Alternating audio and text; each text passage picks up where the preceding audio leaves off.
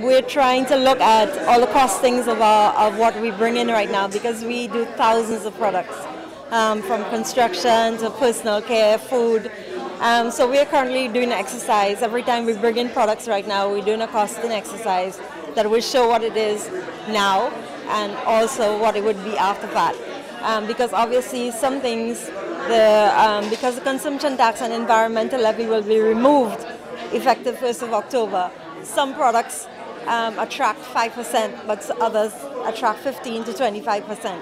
Um, so we're still in the process of, of evaluating the impact that will have on all our pricing. Because again, some of them will be zero rated and exempt.